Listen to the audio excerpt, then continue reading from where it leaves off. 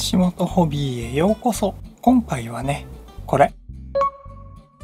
去年刺し目したクレマチスですね。で植え替えてからも枯れちゃったりとかしててだんだんね 減ってきてはいるんですがまあ2つね残っているので植え替えをねしていこうかなと思います。これもしね根っこ生きてたらまたね3号に植えようかなと思います。今回準備したのは4号ロングのねスリットバチそれから通知。いつも通り再生培土で普通の草花用の培養土と考えてもらえればいいんですけど8分の1の鹿沼土。それから8分の1のボラ土を入れてます。まあざっくり言うと普通の草花用の培養土に軽石とか砂利っぽいものをね4分の1入れたよという状態です。じゃあ早速ねやっていこうかなと思います。スリットポットね鉢底石いらないんで。で今回この土は混ぜちゃいます。お？生きてるくない？こっち。あーでも根っこの先端が枯れてきてるか。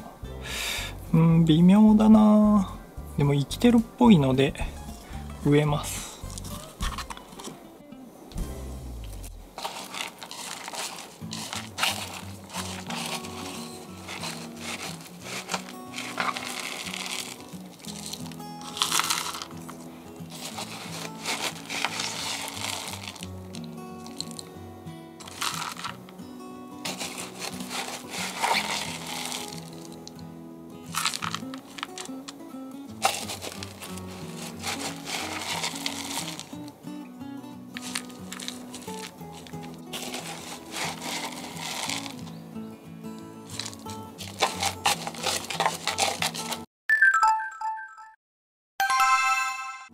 ここで開けたの失敗だったわ。根っこの深さがあるからさ。入んないよね。クレマチスね植え替えの時は一目埋めるって言われてるんだけど石棺が、うんと、節の間がねこれだけあるのでちょっと深いんだよね結構。なのでこの辺で埋めといてあげればいいのかな。根の張るスペースを取りたいのでそんなにねがっつり埋めなくてもいいかも。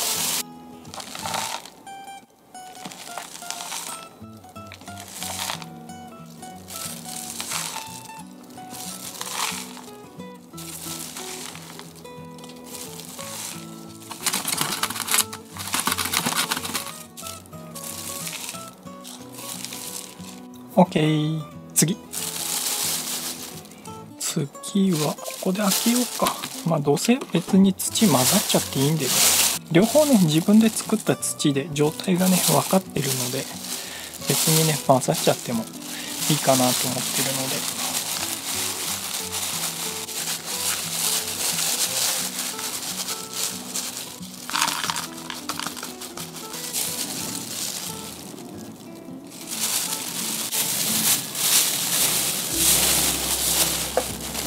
むしろねムラにならないように混ぜて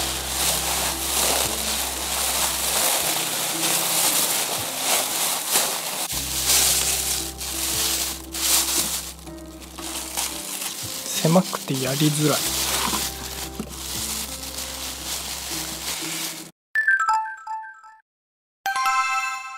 いつもはね土画面外なんだけどそんなにね大きくないんでいけるかなと思ったら結構やりづらい。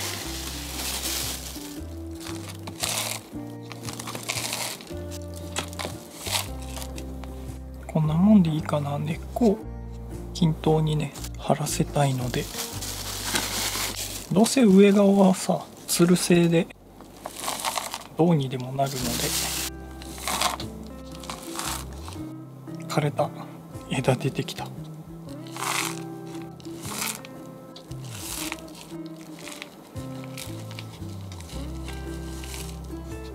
そして振る。これもちょっと振るか。OK 完成と。2つとまあどうなるか分かんないやつ1つ。ねこの後の管理なんですけれど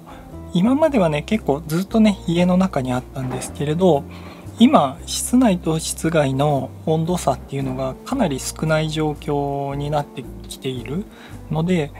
これからね屋外に出そうかなと思っています。そしてあのもう一つの目安としてなんですけど屋外にあるクレマチスが今どんどんどんどん成長してきてます。毎日ねぐんぐんぐんぐん伸びてきているので外でね生育できる気温になっているということなので外にね出して管理していこうかなと思っています。で今回ねあの肥料入れなかったんですけれどこの後うんとそうだなすぐに肥料を与えるかっていうとそうでもなくてまあ若干ね生育が始まってるっちゃ始まってるんですけどそんなにぐんぐんぐんぐんまだ伸びてきてないよっていうところで一旦ねお外に出して水管理だけをしてあげようかなと思います。そしてぐんぐんぐんぐん伸び始めたら置き火をねあげようかなと思っています。でこのねクレマチスなんですけど去年の秋に刺し目というか夏の終わりにね刺し目して、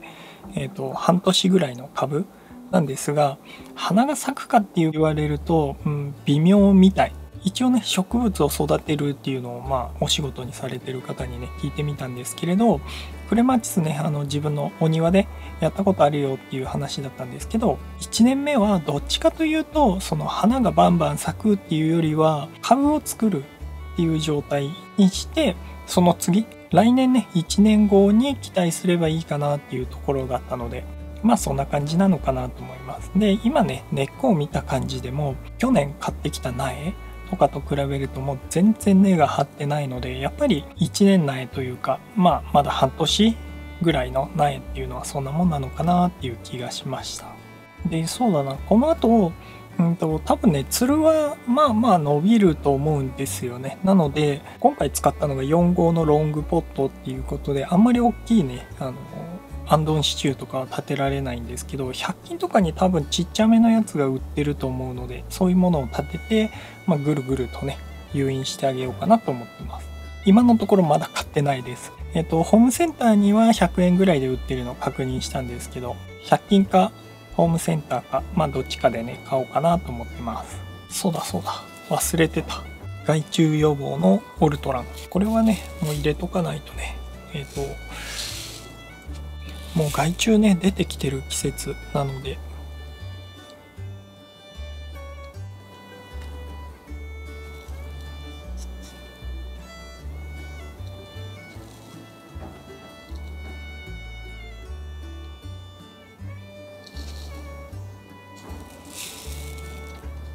で OK と。で、オルトラなんですけど、あの、何でも効くかっていうとそうでもなくって、でも結構アブラムシよけとか、そういうのにはなるのでいいかなと思います。で、オルトランなんですけど、あの、巻いたらすぐに効くっていうものではなくて、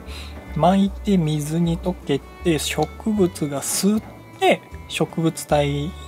がまあ抵抗を持つって言ったら変ですけど虫に強くなるっていう状態になるので少しね時間はかかるかなと思いますけれどね。ということでね今回はこれぐらいにしてね終わりにしようかなと思います。この動画参考になったとかね面白かったまた見たいっていう方はねグッドボタンとかチャンネル登録とか通知ボタンね3点ポチってしていただけるとねとっても嬉しいです。コメントの方もね気軽に書き込んでいただけるととっても嬉しいです。Twitter インスタもね始めてますので気軽にね声をかけてくれると嬉しいです。また次回の動画でお会いしましょう。バイバイ。